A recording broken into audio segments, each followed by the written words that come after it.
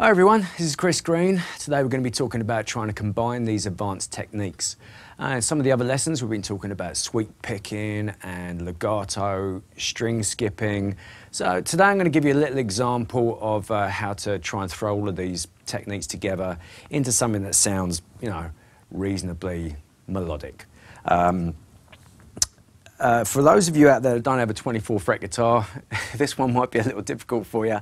You might have to do some bends on the 22 or uh, a big bend on the 21. But we're going to be playing this in E major. Now, it's a very, very sweet sounding um, key, if you ask me, because you're maximizing the use of this top fret up here. You know, so it really kind of sticks out. If you're playing a track in, in E and you suddenly whiz up and play one of these lids, you know, people are like, wow, what's that? That sounds really cool. And these slides kind of make it sound a little more fluid. So um, what we're going to do is we're going to start right up here on our pinky finger on fret 24. That's 24, for those of you who don't understand my English accent. Uh, we're going to slide down to 19. And then we're in our, uh, our standard E major, you know, like the D-shaped position there.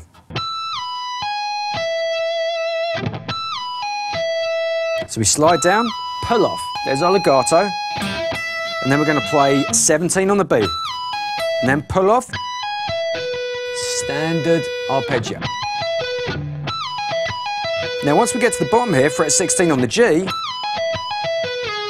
we're going to slide down to the major third, fret 13 on the G. Okay, now we're going to uh, utilise this uh, string skipping arpeggio. Um, if you're not sure about string skipping arpeggios, go and see my string skipping arpeggio uh, tutorial video. Here we go. So, there's the skip across the B. So 14 on the D, 13 on the G, 16 on the G, skip up to 12 on the E. Come back down, and then all the way back up again before hitting 16 on the E. So again,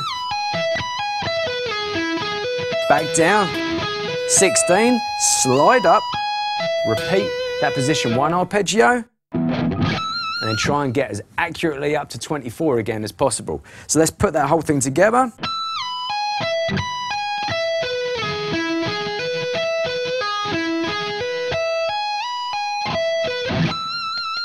Okay, a little quicker. And try and do it a little quicker. And one more time. Okay. Have fun with that one. That's trying to combine all of your techniques, your sweep picking, your legato, string skipping. I've been Chris Green, and I'll see you next time.